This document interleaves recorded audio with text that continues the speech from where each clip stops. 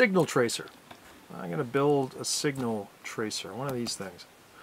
Uh, I'm using the plans out of a magazine, Television, uh, May 1989. And uh, for those, well, I guess if you clicked on this video, you know what a signal tracer is. Uh, but as a quick summary, um, this is uh, Practical Transistor Servicing by Caldwell from the 1960s.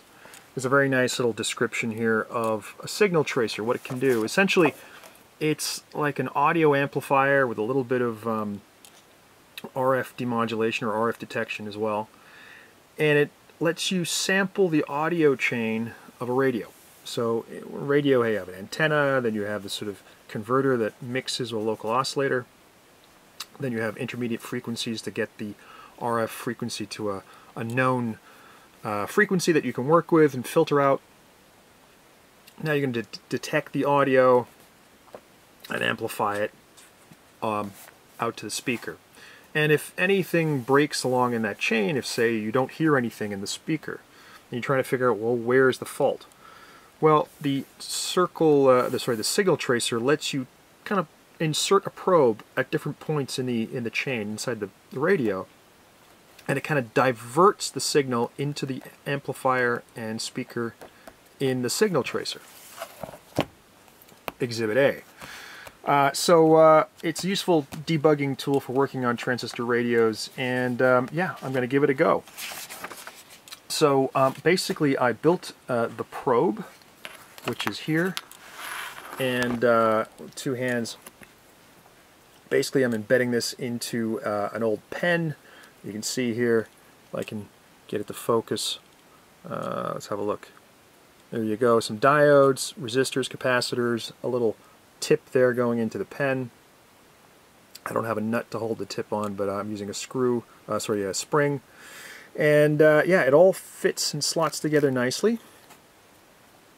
And um, I can push it back in. And then you put the top on. Wiggle, wiggle, wiggle if I get this in. And then we screw it up. There we go. So that becomes the RF probe out here. That little white wire is the ground contact point. You would ground it and then sample your circuit this way. So that's the first part of the signal tracer and uh, let's can see how this video evolves when I build the rest of it.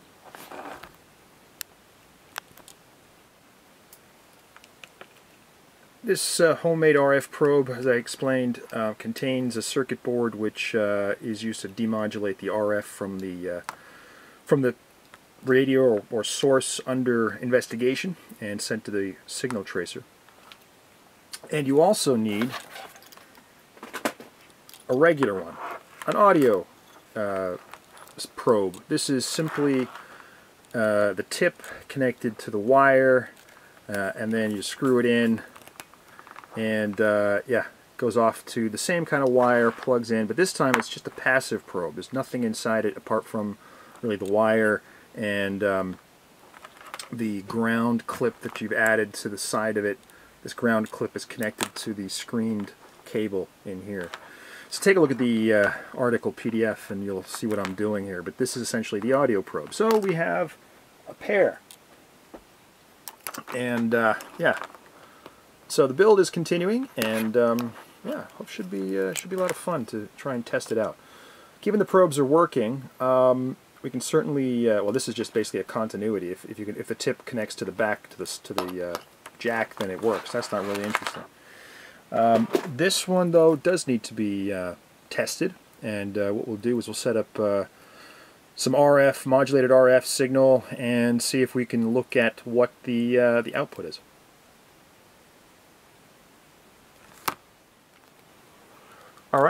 So let's put the signal generator to the test. Um, I've thrown together the circuit. It took me uh, a little while. I'm not particularly experienced at working with Veroboard. But uh, I put all the components on this um, offcut board that I had, the spare board, and um, it seems to be working okay.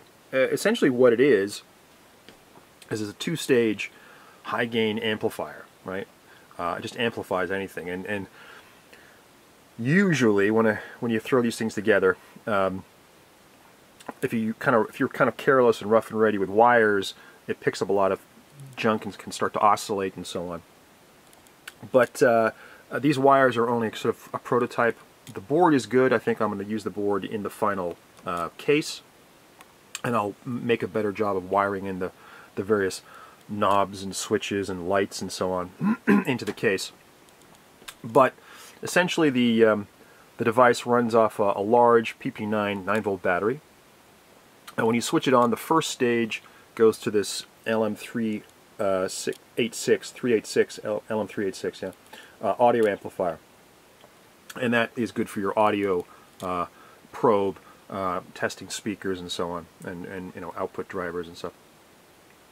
If you need the higher gain, you'd switch into this op amp, and, and this this is where you need to have a split um, supply of batteries. So the LM386 operates 0 volts to 9 volts. Okay, so there's your source. The second stage requires minus 9 volts to plus 9 volts. and so you include a smaller, a second 9 volt battery to provide that negative rail. So in all cases, either you're using this supply for the first stage or this supply plus this one for the second stage. And so most of the current is coming from here, so it's bigger, and this is used only when necessary. so, I uh, let's test it. Um, I've got, uh, we'll switch it on. I've got the maximum gain set up here. We'll switch both stages on. and we'll connect the, uh, the RF probe into a signal source, signal generator. Um, and I if you can see the details here. The camera is uh, maybe maybe going to focus. Uh, we've got a what do we got? We've got a um, one megahertz signal uh, with a five millivolts RMS uh, bu -bu -bu what else have I got? A modulation choice. I'm going to do an AM modulation. Uh, it's going to be 80% uh, uh, depth at 440 hertz, which is an A tone. So this is the the audio sound impressed upon the underlying RF in um, in uh, in the signal. So that's like your my test for uh, radio broadcast uh, audio modulation. So let's switch it on. You don't really hear much.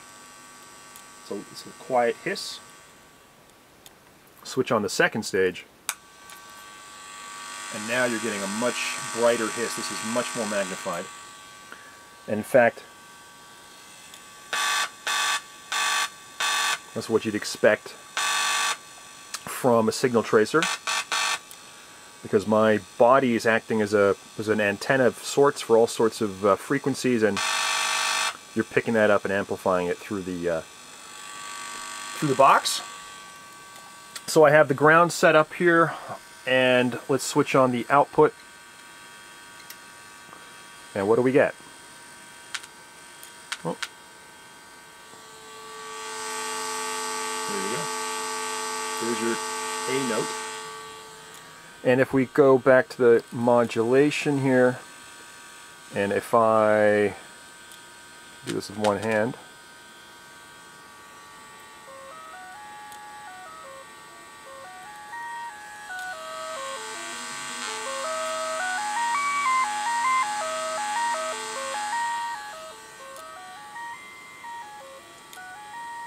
it works. So this probe is uh, demodulating the audio and stripping it out and sending it into the circuit to be amplified, which is exactly what you'd expect a tool to do if you were debugging um, an AM radio.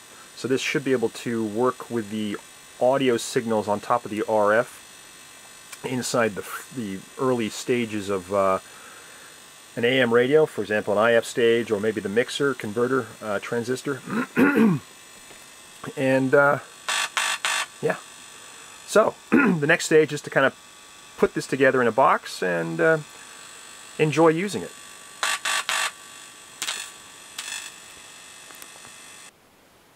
Alright, as, uh, as an observation of the kind of case, the build instructions say to use a plastic case. Well, certainly not a metal case. I had thought of using this uh, case that I picked up years ago, kind of a nice instrument case. It's got venting for uh, speaker and so on, but it's metal. And I don't want to build it and then find out it doesn't work because it's metal and it picks up uh, too much external hum or, or whatever. So um, I'm going to use this old wooden case. I found this at a charity store and I think it's maybe related to art supplies or something. it's kind of nice because it's got double sides. And if you just open it up, you know, you get a nice uh, a nice case. And I think it's it's it's pretty pretty ideal because it'll take the chunky battery. I got a big ass uh, speaker to go in there, and you can imagine that mounted on the front panel. Uh, it all fits. I can close up um, the supply. There's plenty of room to put the board, and the board's only going to be, uh, where are we here? This piece here. I'll break the rest off and save it for another project. Uh, and maybe, if I can think of a good idea, put the uh, signal tracer on this side, then I can turn it around, maybe build in another circuit on this side. So it might be a multi-test box. Who knows? Um, yeah, so that's that's how it's going to be built.